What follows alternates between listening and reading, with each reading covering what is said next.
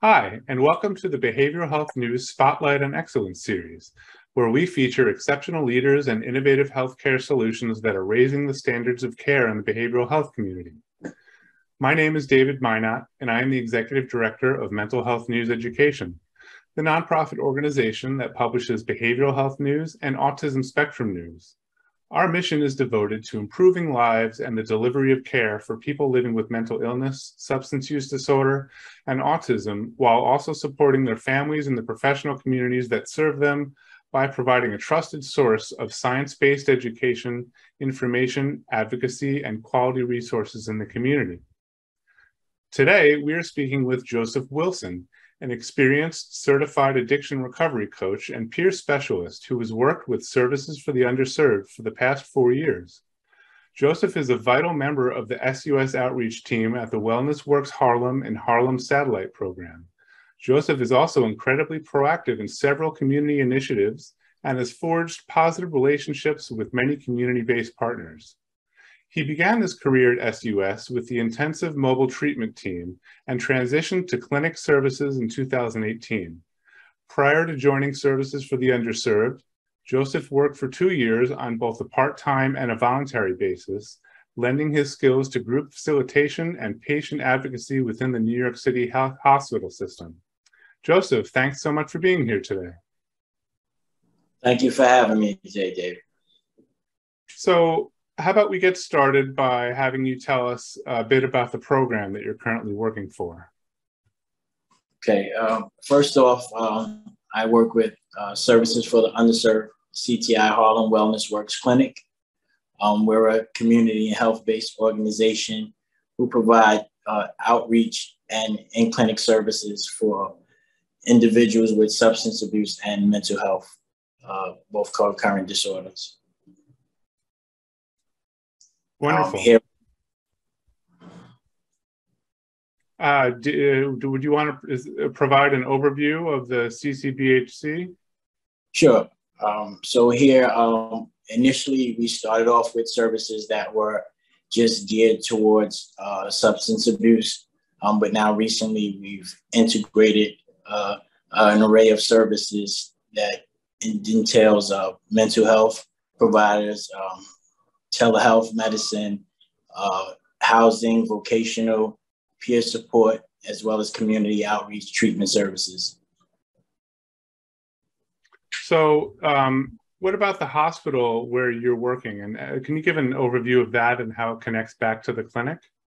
Oh, sure, great. Um, I'm glad you asked that. Um, it's actually something I was working on prior to this interview. Um, uh, we collaborate with several um, city hospitals and community-based organizations to um, offer a collaborative service to transition individuals to the next level of care when they're either in crisis, um, needing detox, or at the stage of change where they are ready to enter inpatient rehab service for inpatient treatment.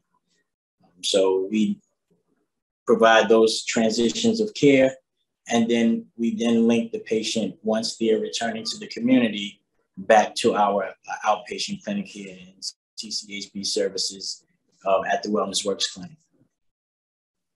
It's very important work you're doing. Uh, so I think it would help to give a picture of what a day of engagement looks like for you. Um, can you walk us through the referral to engagement and then connection back to clinics? Sure. Um, so we um, we would receive an email or a call um, where we have created a referral process um, where one of the community-based providers or city-based hospitals would give us a uh, email or call requesting uh, support with an individual who has consented to receiving uh, substance abuse services or substance abuse and or mental health services. Um, at that point, uh, we would then uh, check the demographics uh, and then find the means of contacting the individual. Um, we call them participants try to shy away from calling them clients or consumers. So sure. they are participants because we deliver a patient-centered uh, approach and care. So you know they are active participants in their treatment plan. So what we do, uh, we have an engagement, and at that point we assess their needs and um, their treatment options, and then we would make a referral to a rehab or detox or outpatient clinic or directly to our clinic. Um, at that point, uh, after the engagement, uh, we would coordinate transportation with the agency that they're accepted to. And then after we get all the consents done, we would then have them, we would encourage them once they're ready for discharge or when they're speaking with a discharge planner to then reach back out to us for that linkage of care so they won't fall between the cracks from completion of treatment back to the community. So um, that's how it comes back full circle to the clinic. Um, gotcha. Um, and do you happen to have uh, like a particular success story in mind um, uh, from you know from your work? Oh yes, um, I can provide you several. But, uh, there's one where um, it's direct um, directed to the clinic and the services that we provide here, um, and how a person's needs um, isn't just based on one factor. Um, it's a holistic approach. Um, there's several factors, and it may be one thing that they may have needs with, but through engagement and building rapport, and you know using skills like motivational interviewing um, and that intentional peer support, we build a rapport and we have the participant feeling comfortable enough to then start really telling us about some of those real underlying needs that they may have. And it may stem just from one simple thing. And the, uh, the example I have, we had a participant who um, was coming to the clinic for services, um, engaging in mental health services as well, substance abuse counseling. But then he started to engage with the vocational specialist um, he ran into a barrier of not having a state ID. He had a city ID, but not a state ID, um, and was motivated to work. And initially, he was frustrated uh, because of that barrier. Um, but through the intentional peer support and you know just making him feel comfortable and staying consistent, uh, we were able to then after COVID have him come into the clinic and we started working on some ways to overcome those barriers. And uh, I assisted him with obtaining uh, an application in the waiver form for his green card, which he lost in the transition of moving from place to place, shelter to shelter. Um, we filled out the application, got sent back twice, staying consistent. Um, we got a call back. He called me about two weeks ago and told me that he was approved, the fee waiver for $450 was waived and the application was approved. Um, now he's just going for his biometrics to do his fingerprinting. And then now he would then have his green card, which will allow him to go to DMV and get a state ID. Right. So through assisting him with that, now he's able to then get that ID to seek employment again. Now he can seek those vocational services that we provide. Um, and through that, we've gotten him to actually open up more. He's uh, actively engaged in his treatment. Um, he's coming to the clinic, uh, engaging doing sessions regularly. Um, just through, and he stayed, he stayed, he stayed motivated. Uh, you know, even when he, you know the application got sent back, you know, he stayed consistent with us because he knew he had that support. You know, it's yeah. so important, so important. And this is a an individual who doesn't have any immediate family in New York. Sure. So, yeah, and without you, uh, he wouldn't be where he is now. You know, and that must be know, a good feeling. Oh, oh uh, of course. I mean, it's very satisfying. But you know, I do this from the heart. You know, to give back to the community. Uh, yeah. Know, provide services. Um, you know, it's about empowering. Each one teach one. Yeah, you know, yeah. If I, if I, can help you overcome a barrier, um, and then in the process of doing that, you know, teach you something, motivate you towards something or another goal, or encourage you to work on some things, you know, it's a win-win. Um, you mentioned COVID. Just curious, um, how did COVID impact what you do? Oh, well, as you know, we all know it impacted the world, let alone New York City, let alone our organization. Uh, but through, you know, strong leadership here at Wellness Work, uh, we were able to come up with a plan to still deliver services via telehealth. Um, and that was an amazing thing because it uh, afforded us an opportunity to actually be a little more consistent than we might have been when seeing the patients, the participants here um, on a regular basis, you know, as they might have gotten accustomed to. So now, you know, we're calling them, we're doing safety checks, we're doing wellness checks, you know, on a regular weekly basis. Mm-hmm. Yeah, yeah, telehealth was really fantastic, and I guess you probably still are using it. Of course, of course. Yeah. I mean, it, we combined it too. You know, sometimes the telehealth allows us the ability to be able to assess someone that may need in-person services by doing a video call, doing a telehealth, you know, via Zoom or Teams. And we can then put eyes on a participant who may have not, you know, seen someone in a minute. So that allows us to, you know, do a real thorough wellness check, you know, via telehealth services. Yeah. Um, you know, so um, I'd like to hear some of the highlights and challenges of the work that you do. Um, I know you you uh, support uh, get support from the hospital staff, but uh, there may be some challenges in how you uh, and how how do you work around those challenges? Well, um, you can start with know, the highlights. How about how about the highlights first?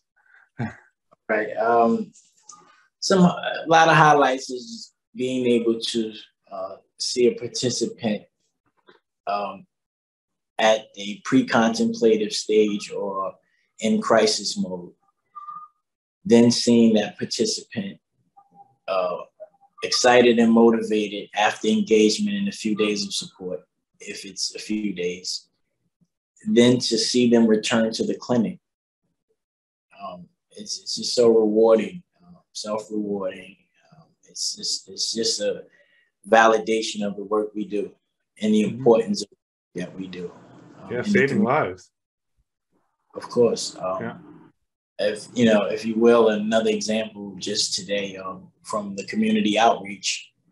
a gentleman came to the clinic today. Um, he reached out to us just from our community outreach and um, flyers with our connection with MTA and doing community outreach he was able to contact us looking into services. And we assessed his needs found out that detox would be you know a good fit for him at that particular time.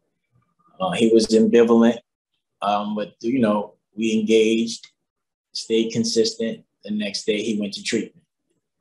Um, i got a call three days later with a discharge plan uh, and back again to your first question, it came full circle because they called us and wanted to know the address and when can he have an appointment. Um, he showed up today for an appointment and for some more, you know, engagement around some of his needs, and we were able then to share some community-based resources that may then help his uh, housing needs, his employment needs, and I mean, he was just so grateful and humble to have the support and have someone that he can relate to uh, in this peer work. That's the, another beauty and rewarding thing about this work that we do. Um, when you do this peer work, you're able to um, share some stories of strength and resiliency to motivate, uh, to use that to elicit change. Yeah, I would imagine that. I would imagine I'm sorry. I'm sorry to interrupt. I would imagine that you may have even, you know, formed some friendships over uh, and bonds with people and their experiences over time. Oh well, you know these these rapports and these therapeutic alliances, you know, they never stop because recovery right. never, life doesn't yeah. stop. Uh, you know, it's an ongoing process. You know, may need a lot of support today, a little bit tomorrow, but as long as the support is there, you know, that's what keeps the bridge gap. Yeah. Um, so, uh, what about some challenges that you had to face? Well, some challenges that we may face, um, this may be in um, challenges or some time with insurances uh, or restrictions that they may have. Um, just um, draw back from the patient themselves, um, you know, and then that's that, that's normal. But, you know, we overcome those barriers and challenges with consistency, um, you know, through positive reinforcement, validations, um, and you know, having a someone that's providing non-judgmental support uh, and patient-centered. It, it sometimes make the difference between those barriers and those challenges um, because they feel that they have somebody to walk with through them through those challenges. Mm-hmm. Even even the challenges that we may face. Sometimes you find a participant might be saying, "Okay, it's all right. We're gonna get through it, Mr. Wilson. It's all right," and you know, so that it's a two way street. Yeah. Um, so, if you had a wish list, uh, what do you think could be added to this program to make it better? Some more funds is one. yeah, of course. more staff I'm sorry, you cut out. More what? Staffing. Yep, um, staffing. And, and, what I mean by that is um, just more individuals that, who are passionate about this work, um, who decide to go into this field um, for whatever reason, but for the right reasons, and are willing to really make a difference in someone's lives. That that's that's one of my biggest wishes this is why I continue to do this work every day. Uh, I give 110% every day. Um, you know, to to fill those voids, at least try to. Sure. Yeah, uh, I really admire the work you do. Uh, yeah, you're you're you're saving lives, and uh, um, you know, with your own experience, your own life experiences, you're able to relate to these people, and I'm sure uh, versus just hearing from doctors and uh, and, and other staff, uh, it really is a lot more meaningful uh, in some instances coming directly from you. Of course, of course. Yeah. Um, Sometimes um, yeah. you find a patient that may be um, so resistant to treatment or to progress or to change. Um, it may not be into that point that they do have peer engagement that you see some change or motivation mm-hmm. to work. So that's very true. Well, you know, it's been it's wonderful to learn about what you're doing, uh, and I really commend you for for the wonderful work you're doing at Services for the Underserved. Um, and uh, I just want to thank you for your time. It's been a pleasure to speak with you. Thank you. I'm humbled. Appreciate you. Appreciate your time. Absolutely. Um, and uh, for those watching, for more information about Services for the Underserved, please visit sus.org and stay tuned for our next installment of Behavioral Health News Spotlight on Excellence series.